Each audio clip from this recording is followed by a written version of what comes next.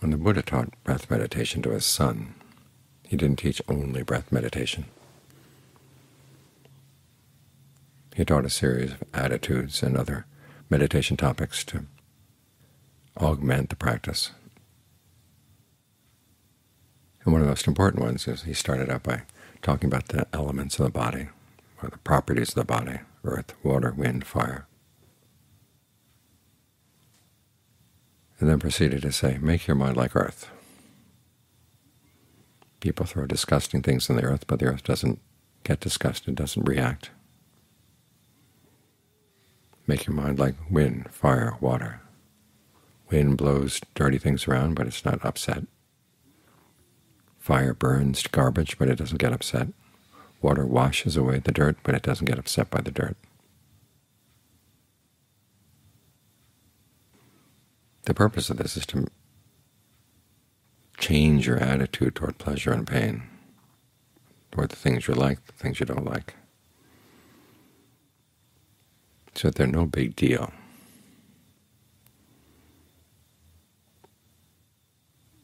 Because you're going to be trying to observe the mind,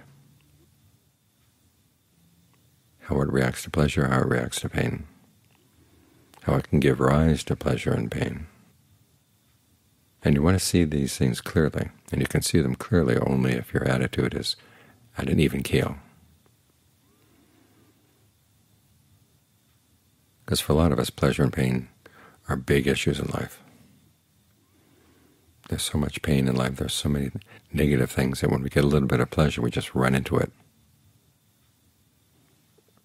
If it's big enough, we wallow in it. If it's not big enough, well, we gobble it down.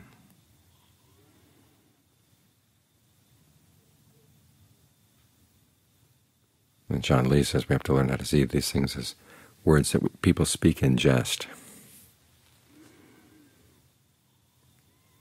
That's going to require a real rearrangement of our attitudes. The Buddha talks about one of the ways of getting so that your past bad karma doesn't get to you is to learn how to not be overcome by pleasure and not be overcome by pain. And concentration is how you do that because you don't stop with simply being non-reactive. You're non-reactive for a purpose, for developing the, a skill.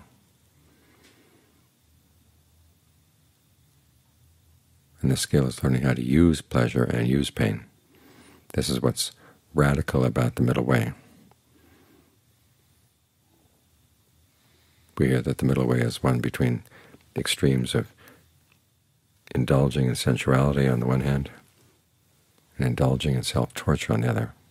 It sounds like it's a middling way, halfway between pleasure, halfway between pain. But no, you look at the path itself, and pleasure, equanimity play a huge role in the right concentration. The four jhanas are defined by their feeling tone.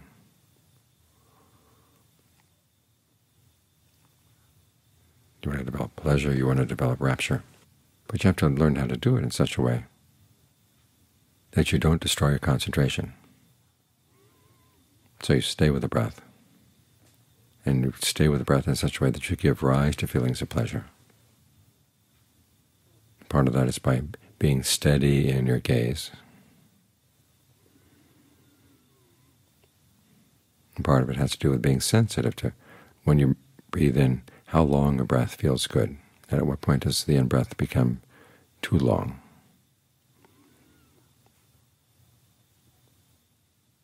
Or if it's not long enough, how do you tell that? You've got to learn how to be sensitive to this area of the body, the breath energy flowing through it. And we tend to desensitize ourselves, especially as we go through go through the day in our normal lives. We have so many other things that we have to pay attention to that we push this out of our awareness. Now we're trying to bring it back in, realizing that we've been abusing it in a lot of ways. The energy flow in the body has been all bollocksed up. Now it's time to let it get back to normal. To try to be sensitive down into the body. Make your mind like earth. Just watch things for a while. begin to see, okay, this way of breathing is not so comfortable, but that way of breathing is more comfortable. Your mind is like earth, so you can see these things clearly, and then you can take advantage of them. But again, you don't want to leave the breath for the pleasure. But think of the breath and the pleasure going together through the body. The flow of the breath is not just in a line from the nose down into the lungs. It's all over your skin. It's all through your muscles. It's all along the nerves and the blood vessels. And you can sensitize yourself either from the inside going out or start with the outside. Start with the skin. Think of all the little muscles around the pores relaxing, opening up.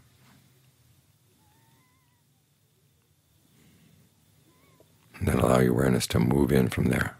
Or you can start with the fingers, just go up the arms, then with the toes, go up the feet, the legs, the spine, into the skull. Whatever way allows you to sensitize yourself here and have a sense of the breath and the pleasure going together. Ultimately, you want to see that the breath, of course, is something different from the pleasure. But for the purposes of getting the mind to settle down, you want to make them one, have them all occupy the same place, your awareness, the breath, the sense of pleasure. But keep that perception of breath in mind. Otherwise you zone out.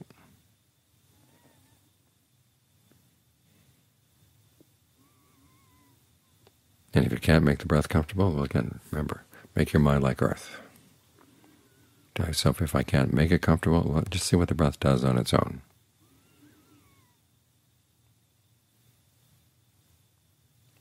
You can either try to say, if it's going to breathe in, it's going to breathe in on its own. If it's going to breathe out, it's going to breathe out on its own. I'm not going to get involved. I'm just going to watch. That's one way. Another way is to say, okay, help it come in, but when it goes out, that's its business. I'm not going to push it out. I'm going to squeeze it out because that's one of the ways we create a sense of discomfort in the body is by squeezing the breath energy out.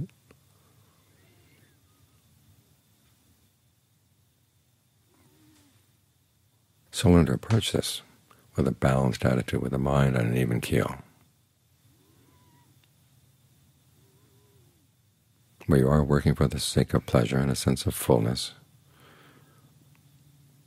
Rapture sometimes is too strong a word, but there's a sense of refreshment that can come with this when things settle down. Everything feels like it's right in the right place.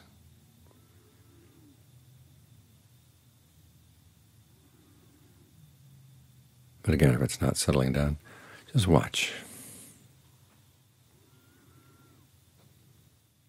And be patient. Again, think of your mind like being like earth.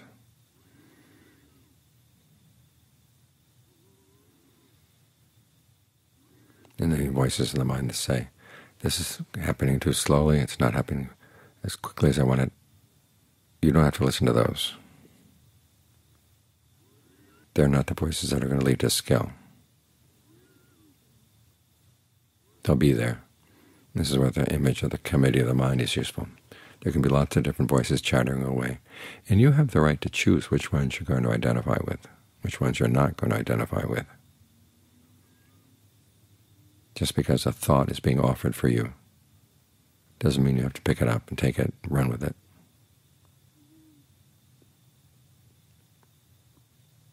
You're a wise committee chairman.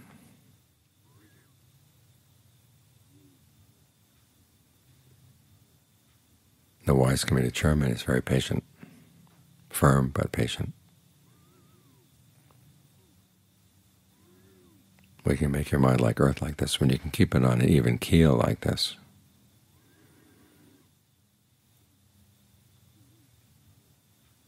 And the meditation becomes more and more of a skill, something that you can begin to rely on.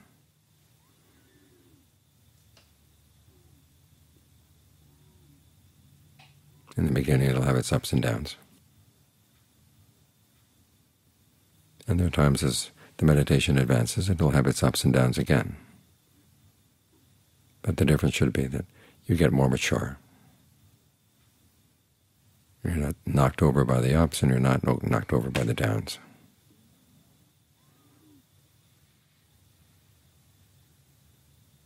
And you realize you're here to learn, you're here to watch. When things go well.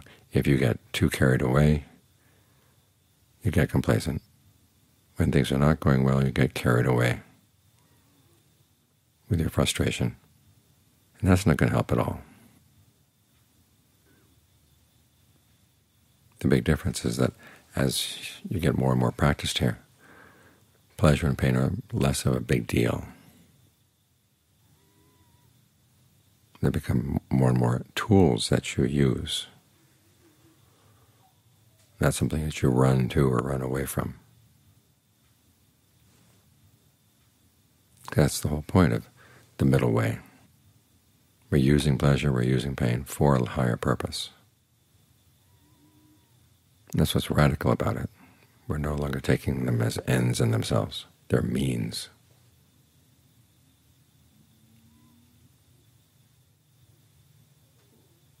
And when you can keep them at that status, then you can get the most out of them.